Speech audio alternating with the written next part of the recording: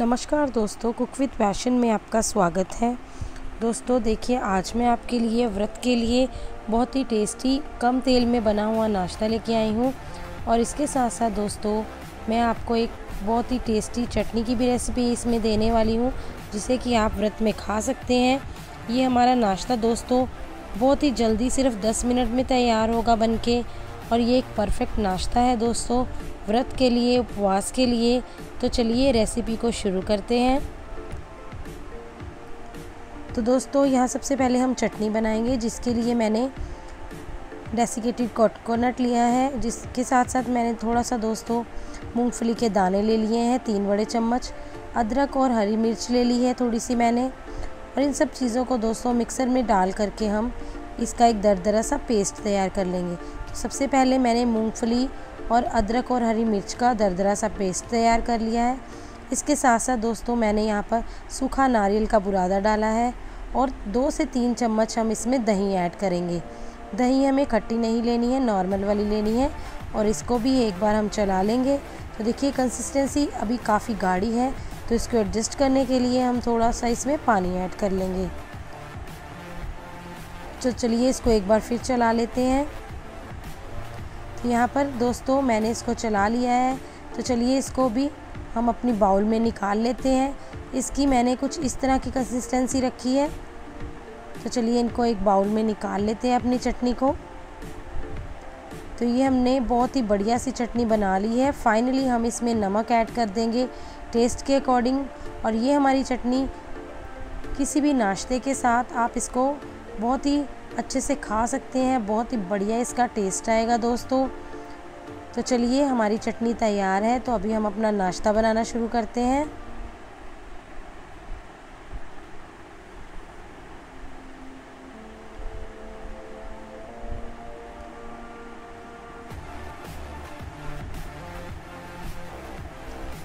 तो यहाँ पर दोस्तों, मैंने समा का आटा ले लिया है, जो व्रत वाला आटा रहता है, वह मैंने ले लिया है, आधा कप।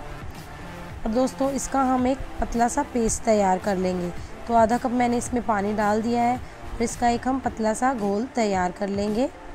तो लीजिए घोल तैयार है। तो अभी हम इसमें कुछ और चीज़ें ऐड करेंगे। तो सबसे पहले मैंने दोस्तों, यहाँ पर हरी मिर्च और अदरक ले ली है, जिसको कि मैंने बारीक काट लिया है। और उसके साथ साथ कुछ धनिया की पत्तियाँ हम इसमें डाल देंगे। यहाँ पर दोस्तों, एक आलू को मैंने उबाल करके, कद्दूकस करके रखा हुआ था, उसको भी मैंने इसमें ऐड कर दिया है। तो सारी चीज़ों को अच्छे से एक बार मिक्स कर लेंगे। तो अभी जो हमारा बैटर है, काफ़ी ड्राई है। तो इसको सेट करने के लिए दोस्तों हम इसमें पानी ऐड करेंगे और इसका एक अच्छा सा हम बैटर तैयार कर लेंगे। थोड़ा थोड़ा करते हुए आप इसमें पानी ऐड करते जाएँ। तो यहाँ पर मैंने वन थर्ड कप पहले पानी ऐड किया था। वन थर्ड कप मैंने अब पानी इसमें ऐड कर लिया है। अच्छे से मिक्स कर लेंगे ताकि इसमें बिल्कुल भी लम्स ना रहें।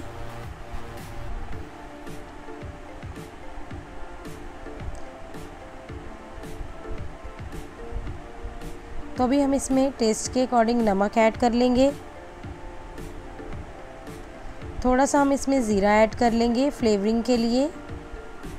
और थोड़ी सी हम इसमें लाल मिर्च पाउडर ऐड कर देंगे। बस और हमें इसमें कुछ भी ऐड नहीं करना। दोस्तों, ये हमारा मिक्सचर तैयार है। हमारा नाश्ता जो है, वो बनने के लिए तैयार है। तो चलिए, अभी हम अपना नाश्ता बनाने शुरू करते हैं। तो इसकी कंसिस्टेंसी दोस्तों, कुछ इस तरह की हमने रखनी है। हमें बहुत ज़्यादा पतली या गाढ़ी नहीं रखनी। तो चलिए, ये हमारा बैटर तैयार है। तो आज का हम नाश्ता, दोस्तों अपे पैन में बनाएँगे। जिससे कि हमारा जो ऑयल है बहुत ही कम इस्तेमाल होगा हमारे नाश्ते में। तो सारे कैविटी को मैंने हल्का हल्का सा ऑयल कर लिया है और सारे हम खानों में जो अपना मिक्सचर है वो डाल देंगे।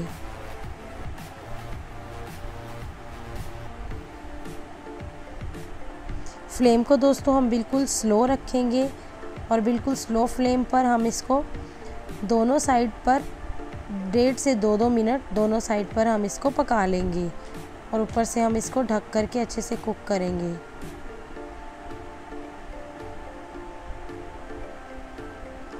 तो लीजिए, सारी कैविटी मैंने भर ली है तो इसको अभी ढक्कन लगा करके पका लेते हैं।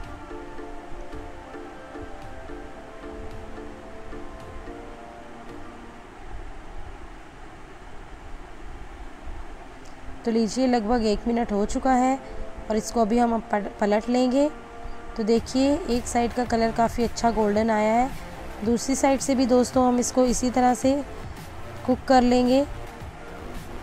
सारे अपने नाश्ते को हम पलट देंगे और फिर से हम ढक कर के इसको एक से डेढ़ मिनट और पका लेंगे दूसरी साइड से भी।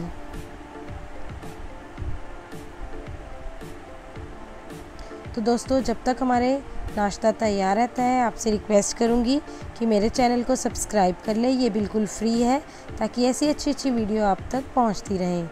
तो यहाँ पर देखिए, मेरा जो नाश्ता है दोस्तों, दोनों साइड से अच्छे से पक गया है। तो लीजिए, इसको अभी हम प्लेट पर निकाल लेते हैं। तो लीजिए दोस्तों, मेरा व्रत का नाश्ता। और बहुत ही टेस्टी चटनी, जिसकी की रेसिपी मैं आपको दे चुकी हूँ। दोनों चीज़ें बहुत अच्छे से बन चुकी है। नाश्ता बहुत ही अच्छा बना है। बाहर से गोल्डन और अंदर से एकदम सॉफ्ट है। इसको खाने के बाद दोस्तों, आपको पूरा दिन एकदम आप एनर्जी से भरे रहेंगे। तो इस मेरी रेसिपी को आप ज़रूर ट्राई करें और मुझे बताएँ, आपको मेरी ये व्रत वाली वीडियो कैसी लगी? वीडियो को अपने दोस्तों के साथ लाइक और शेयर करना बिल्कुल भी ना भूलें, ताकि और लोग भी दोस्तों इसका फ़ायदा ज़रूर उठा सकें। तो लीजिए आज के लिए बस यही था। आगे फिर मिलेंगे अच्छी अच्छी रेसिपीज़ के साथ। तो कुक विद पैशन के साथ जुड़े रहें और मेरे चैनल को सब्सक्राइब और लाइक ज़रूर करें। धन्यवाद।